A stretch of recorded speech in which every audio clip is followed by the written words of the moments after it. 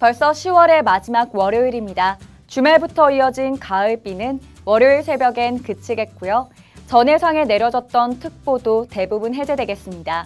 다만 일요일 기상청 기준 동해상과 제주 먼바다에 내려진 풍랑주의보는 월요일에 차츰 해제되겠고요. 일부 남해안과 서해상, 제주 앞바다에는 풍랑 예비특보가 내려져 있습니다. 월요일도 강한 바람에 대비 잘 하셔야겠습니다.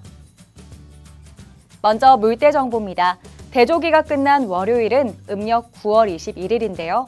점차 조차는 작아지고 물살의 세기도 약해지겠습니다. 이어서 고조 정보 알아보겠습니다. 남해안 목포는 17시 37분 453cm, 서해안 평택은 19시 36분 884cm의 고조를 보이겠습니다.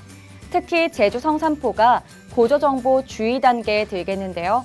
침수 대비에 각별히 신경 쓰시기 바랍니다.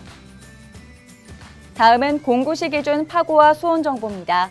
서해상이 최고 1.6m, 남해안이 0.9m가 예상되고요.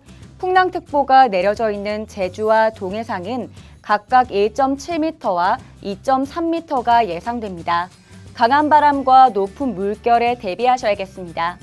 또 수온은 작년 이맘때와 비교했을 때 비슷하거나 높겠습니다. 이어서 조류 정보입니다. 천수만은 15시 39분 북쪽으로 흐르겠는데요. 3.4노트의 세기가 예상됩니다. 다음은 항만 해양지수입니다. 대산항 알아볼 텐데요.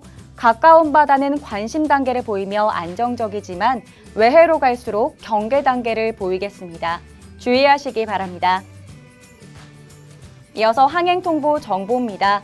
서해안 군산항 부근에서 10월 29일부터 31일까지 수로 측량이 진행될 예정입니다. 입출항하는 선박은 주의하시기 바랍니다. 끝으로 주간 해수면 전망입니다. 10월 마지막 주는 저내역에서 해수면이 전년 대비 2.6cm 높게 나타날 것으로 예상되는데요. 0.2cm의 큰 차이가 없는 동해를 제외한 모든 해역이 4cm 내외의 상승을 보일 것으로 전망됩니다. 지금까지 내일의 바다정보였습니다.